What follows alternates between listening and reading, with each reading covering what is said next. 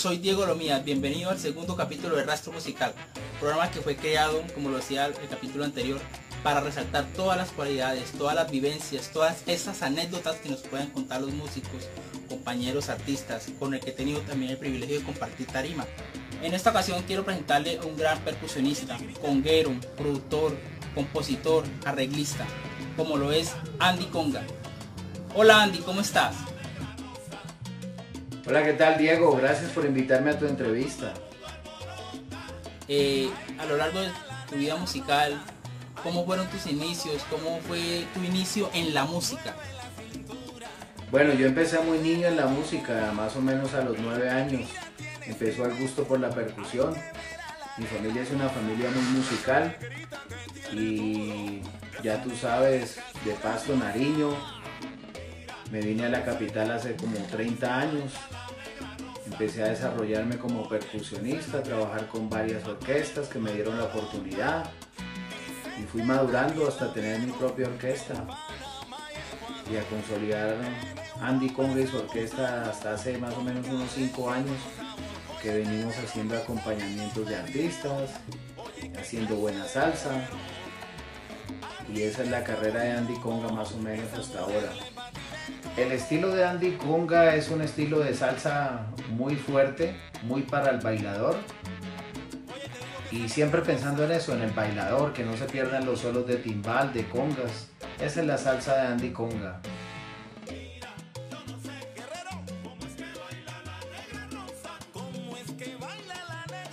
Ese recorrido a lo largo de todos estos años como músico en la ciudad de Bogotá y en la ciudad de Nariño de Pasto. Eh, ¿Alguna anécdota que, que nos quieras contar, que, hayas marcado para ti en la parte musical? ¿Alguna anécdota? Bueno, hay varias anécdotas con llamadas importantes como para participar en acompañamientos de artistas. Son anécdotas chéveres. Eh, ¿Cómo te puedo decir? Una anécdota bonita, una llamada de de un manager del maestro Nacho Sanabria que me hicieron para hacerle un acompañamiento. Entonces hemos acompañado grandes artistas de la salsa, Anthony Colón, Johnny Rivera, eh, Cano Estremera, Tito Rojas, eh, Maelo Ruiz, eh, bueno, se me quedan muchos por fuera, eh, Basil Alexander de Venezuela, muchos artistas internacionales.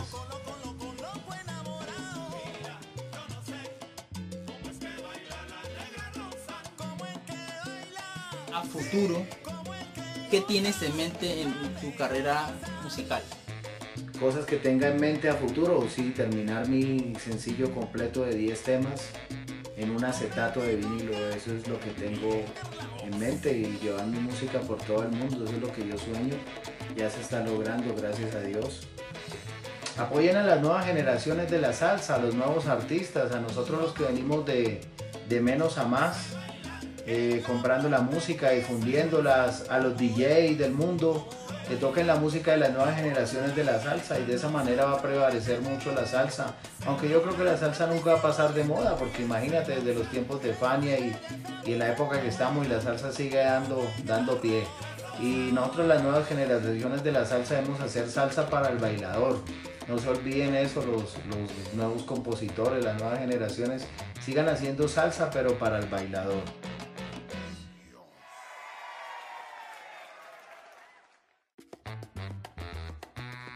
Personal, en la parte artística, en estos momentos, ¿hay alguien que te inspire como músico, como artista?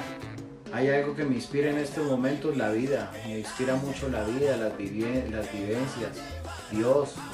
lo que está pasando. Todas esas cosas me inspiran a mí para seguir adelante.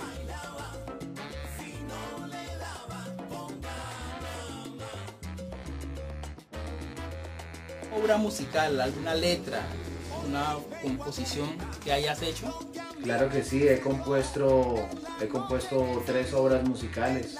Mi tambor en el 2018, La Negra Rosa en el 2019, ella en el 2020 y acabo de terminar otro tema de grabarlo que se llama Cuando pase la tormenta. Son esas tres obras musicales de mi autoría arreglo musical, he participado mucho de lo que es la música de mis temas.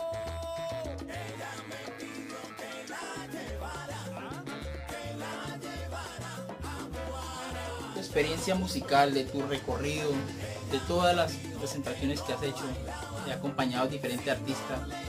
¿Hay algún artista con el que te identifiques que, que sientas admiración hacia ese artista? Me identifico, sí, pues me identifico con muchos artistas que uno va creciendo y va escuchándolos, ¿no? Pero sí me identifico con, con, un artista muy especial, la banda de Willy Rosario me gusta mucho.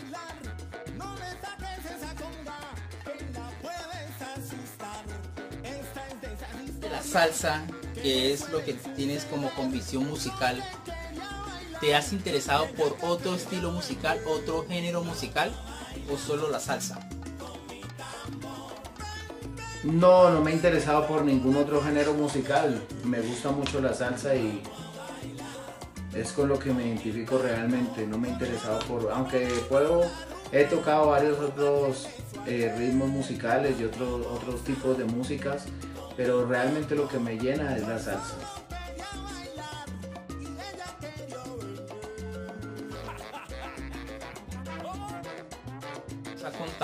nos has compartido musicalmente de tu proyecto como Andy Conga, que es una excelente orquesta. ¿Algún adelanto de alguna obra o alguna producción musical que se aproxime para lanzar al mercado? Mi próxima producción se llama Cuando pase la tormenta. Solo te puedo adelantar eso, que es un buen tema que escribí. Cuando pase la tormenta, un gran mensaje para la humanidad. Esa es mi próxima producción musical. Para mí es un honor haber compartido este programa con usted, eh, que nos hayas contado a grandes rasgos todos tus, tus, proyectos musicales, todas tus vivencias, todas tus expectativas musicales. Para mí de verdad es un honor. Muchas gracias, pero muchas gracias por aceptar la invitación.